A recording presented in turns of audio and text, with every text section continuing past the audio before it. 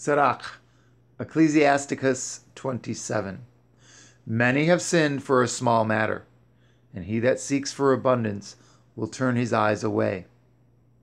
As a nail sticks fast between the joinings of the stones, so does sin stick close between buying and selling.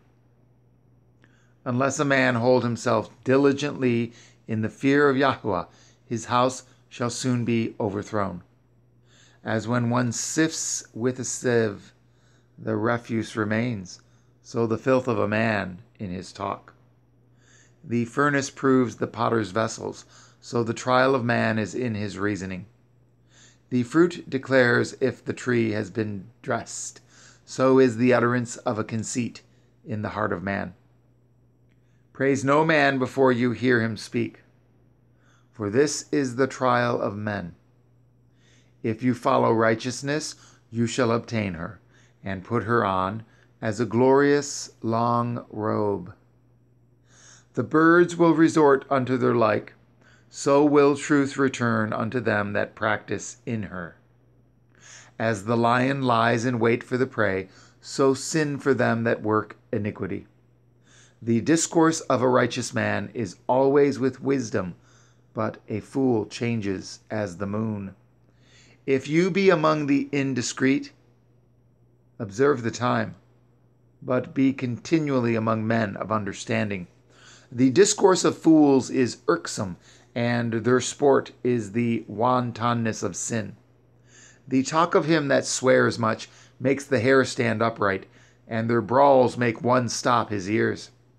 The strife of the proud is bloodshedding, and their revilings are grievous to the ear.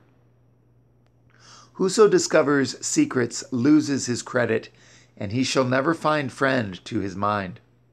Love your friend and be faithful unto him, but if you betray his secrets, follow no more after him. For as a man has destroyed his enemy, so have, have you lost the one. Rather, so have you lost the love of your neighbor. As one that lets a bird go out of his hand, so have you let your neighbor go and shall not get him again. Follow after him no more, for he is too far off. He is as a roe escaped out of the snare. As for a wound, it may be bound up, and after reviling there may be reconciliate, rather reconcilement, rather reconcilement. But he that betrays secrets is without hope. He that winks with the eyes works evil, and he that knows him will depart from him. When you are present, he will speak sweetly and will admire your words, but at the last he will writhe his mouth, mouth and slander your sayings. I have hated many things, but nothing like him, for Yahweh will hate him. Whoso casts a stone on high casts it on his own head, and a deceitful stroke shall make wounds. Whoso digs a pit shall fall therein, and he that sets a trap shall be taken therein. He that works mischief, it shall fall upon him, and he shall not know whence it comes. Mockery and reproach are from the proud, but vengeance as a lion shall lie in wait for them. They that rejoice at the fall of the righteous shall be taken in the snare, and anguish shall consume them before they die.